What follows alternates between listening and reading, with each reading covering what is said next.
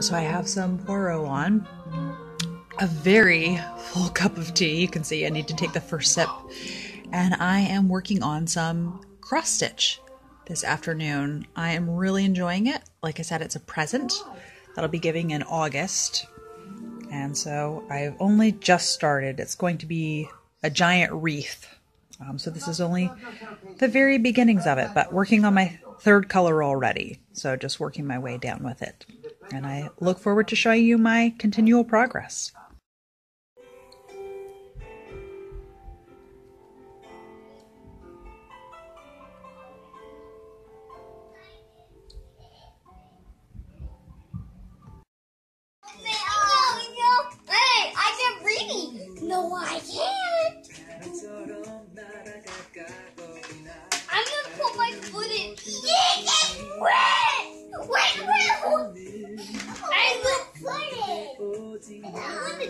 Should put yours on your head too. Hey, this is my helmet. Oh, it's red. Yeah, yeah, yeah, yeah.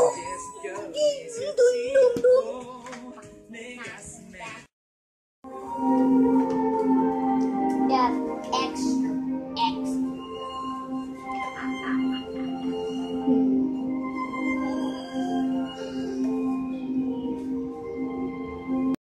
I got a little treat for the boys, and I wanted to show you all what I got.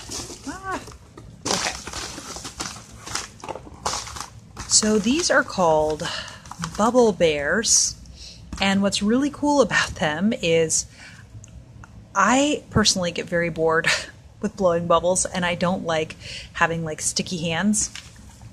Um, and so these you can squeeze and it pops the bubble wand up so it's not like the kid has to dip the bubble wand down and then it makes it like they can just do the bubbles all on their own.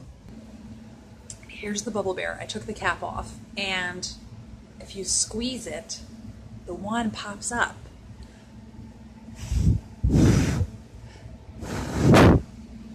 How cool is that? And then it just sinks right back down. And then you put the lid back on. I'm so excited about this. But it's not too full that the bubbles are all spilling out. This is amazing. I don't know why I didn't find out about this sooner. It is Tuesday around 3:30 p.m.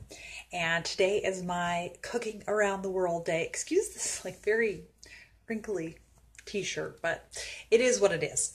And I am doing I got to the G. This is the G week and we are doing Germany. So, of course, I asked Mel from Mel's Bookland Adventures uh, for some suggestions, and she sent me some really nice recipes out of a German cookbook she has. And I'm going to be making a goulash and some potato dumplings with a cream sauce. I've never had potato dumplings. I grew up in the South, so we had things like chicken and dumplings, but never potato dumplings. Uh, so I'm really excited, especially with a cream sauce, which just sounds so German. And obviously, I want it to be very authentic. And Mel did say goulash, um, while it did originate in Hungary, it is definitely a German staple now. And so she thinks it definitely counts as a German dish. And I'm going to be listening to North and South while I am cooking. And I have gotten to, for those of you that have read North and South, I have gotten to the chapter um, A Blow and Its Consequences. So, for those of you that have read it, this is the chapter in North and South, and I cannot wait. Um, so, yes, going to be cooking and listening to North and South. It should be great.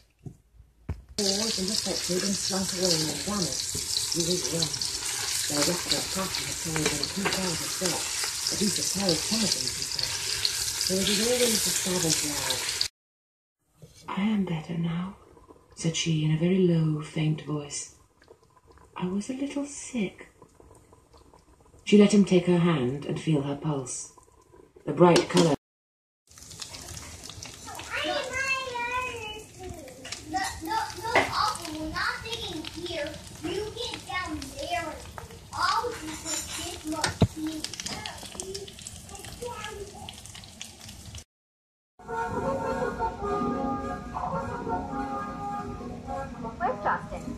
Was supposed to be joining us. It will not be long. He's on Thunderbolt, his new stallion. Fearsome brute. Only Justin could ride him. Oh, that's so like Justin. I've completed one challenge of Book Buddyathon, and that is to um, read a book with your buddy's favorite color on the cover. And so I have finished it. I love this. I gave it four stars, and for a romantic suspense novel, that's like a really good rating. You know how maybe with different kinds of books you give different ratings, so I really, really loved this. And I just want to keep coming back to Phyllis Whitney's books uh, through the years, and I'm so happy that I read it. I need to leave a wrap up message for Bree. I did not call some of the stuff at the end. One thing that I love is that she's so good. Phyllis Whitney is at making atmosphere happen. And so you can tell from the cover, there's a giant topiary chess set um, at this estate, which is so over the top, but it really does make a really vivid picture of what this estate Athmore is like. And it, it's a little part of the plot, not a huge part, but woven in very nicely. And yes, I just really recommend Phyllis Whitney if you like Daphne du Maurier, if you like, um, who am I thinking? Mary Stewart, all of those. I have not had quite as productive a reading week as I was hoping. It is Wednesday night now, um, and I really need to kick some butt with North and South. I have a lot to read. Uh, so I am halfway though, so I need to keep that in mind. It is, you know, a, a little over 400 pages. So I am halfway, which is exciting, and I'm really, really enjoying it. I always worry about, you know, revisiting favorites. And this is my third time reading it, but it's just such a treat. Um, it has been a kind of disorienting for a reading vlog kind of week and a half, but I made a promise to myself at the beginning of the month and I mentioned it that even if it's disoriented, just put it together in a video and it can be a mishmash and still fun for people to watch who like watching reading vlogs, hopefully. Over, so the second week of June. Yeah, I'm like all disoriented now.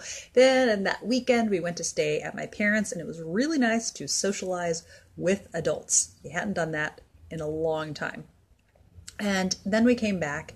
That whole time, I was working very um, vigorously to finish North and South in time for book club, and I finished at like 5:45 on Sunday morning and book club was Sunday afternoon. I would have loved to film a clip of it, but I always feel kind of weird about asking people for their permission to film them and then I don't want to film them without asking for that permission so then I just always chicken out.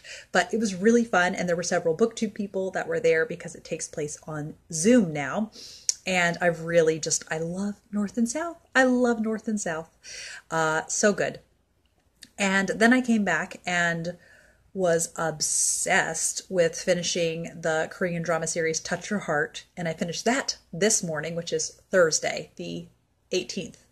Uh, so, all of that to say that I'm back at home and I just feel like this reading year has been so weird with me constantly feeling divided between like 10 books. And I've tried to trim down my TBR, my currently reading, but I also feel I'm just very distracted with current events being what they are, and also with us transitioning, you know, my husband finding a job soon. I'm just constantly thinking about like, what will our life be soon? Uh, all of that. But I did uh, pick up a book, a physical book. I've been having trouble focusing with physical books, but I did pick up the Blue Castlemore. Carolyn and I were supposed to read aloud together on Monday, and then we ended up staying an extra day at my parents. So I said to Carolyn, why don't we just finish this independently? But I read several chapters and really enjoyed it. I'm around 100 pages in this one. And it starts out really, really sad, and then I forget how amazing it gets. Um, so then this is my buddy read challenge for Book Buddyathon. But then also Carolyn and I were planning on reading Vision and White together, so I need to start that as well. I am in the midst. I decided that since I'm having trouble picking up physical books, the Book Buddyathon challenge for um, read a book that your buddy rated five stars, I will be doing that uh, as the for the audiobook of the ABC murders. And then what was the other thing? Oh, the chat one of the book buddy-a-thon like prompts, not a reading prompt, an activity prompt, is to make a pub quiz for your friend. So Carolyn and I are going to do Victorian novel themed quizzes. And I think I'm going to do like a quote section and maybe a character, like just figure out what name the character is from. Carolyn and I didn't do our like video chat this past week, but we're going to do it. We're going to do one this next week. So we did miss one of the prompts, but that is okay. Just being away from home, it just really throws me off too with like all of my reading goals, all of that. Three videos edited, and that's exciting because I just feel like I didn't really upload anything in May and I was trying to do more in June and then so just excited to have those. There's two videos I'm very excited to film, but I can't do them until I read this certain book. All will be revealed in a little while. It will make sense, but I need to read these other books before I read that book. But side note, hashtag not sponsored. Can we talk about the glories of seltzer water or sparkling water? I don't know what you call it where you're from, but I have found my two absolute favorite flavors. These are Wegmans sparkling water, and the first is peach. So good. It has like kind of a slight bitterness to it. I can't explain it, but it's yummy, yummy, yummy. And then blackberry tangerine. This ironically does not taste like tangerine at all. I can only taste the blackberry, but the blackberry is so yummy that I don't care. Close third would be dragon fruit. And I'm trying to think if there's any others that I really liked from Wegmans. I think those are the ones that I've tried. I haven't tried the other ones. I think it'd be kind of fun to do a giant tasting and just like spread out all the seltzers. But yes, I adore it. It's such a nice treat. Listened to more of ABC Murders and worked on my embroidery there's one pink color that I'm lacking and I'm going to pick up at the store this weekend. So I just started on the greens, which are the stems and the leaves. Um, so it's coming along. This is the first quarter of it, and hopefully I'll continue to make good progress. And then I decided just to watch a bit of TV before I go to bed.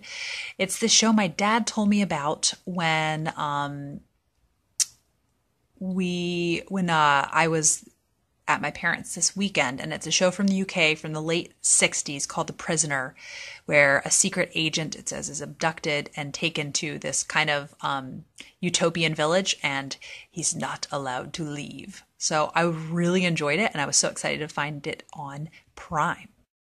So, Book Buddy-a-thon has taken a turn for the better, and I finished two books since the last time I updated you. I finished The Blue Castle, and as always, revisiting a favorite. I have this fear it's not going to live up to it, and I gave this five stars again. I loved it so much. There's just something so captivating about this book, and it's a glorious, glorious book. I can't recommend it enough. It's just got such a special, unique story to it, and is really, I mean, some of these passages with nature writing seem reminiscent of other L.M. Montgomery books, but also it just seems unlike any other book that I've read, and I just adore it. Um, let's see when it was published, because I was going to call it a modern classic, and I think that would be correct. 1926. So, yes. Oh my goodness. So, this is getting close to, uh, it's closing in on 100 years old. Maybe if I have um, a booktube channel still um, in 2026, then I could read aloud The Blue Castle to everyone. But I did actually, um, on my walk yesterday, I took some fitted, footage of the beautiful clouds. And so after this, you will see a, you'll get to hear some of the quotes that I loved from it with the beautiful clouds. I thought that would be a nice treat. And I have finished the ABC Murders. It was excellent. I gave it four stars, which for a mystery means I really, really enjoyed it. And um, yeah, so I'm doing a little project with the ABC Murders that you'll see a separate video for.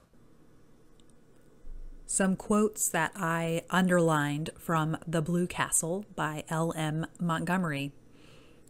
Sometimes of an afternoon, the two girls went into the barrens and looked at the wood flowers, but they did not pick any. Valancy had read to Cissy the gospel thereof according to John Foster. It is a pity to gather wood flowers. They lose half their witchery away from the green and the flicker. The way to enjoy wood flowers is to track them down to their remote haunts, gloat over them, and then leave them with backward glances, taking with us only the beguiling memory of their grace and fragrance. Supper was the meal Valancy liked best. The faint laughter of winds was always about them, and the colors of Mistawis, imperial and spiritual, under the changing clouds, were something that cannot be expressed in mere words. Shadows, too, clustering in the pines until a wind shook them out and pursued them over Mistawis. They lay all day along the shores, threaded by ferns and wild blossoms. They stole around the headlands in the glow of the sunset until twilight wove them all into one great web of dusk. Sometimes they took a lunch with them and went berrying strawberries and blueberries.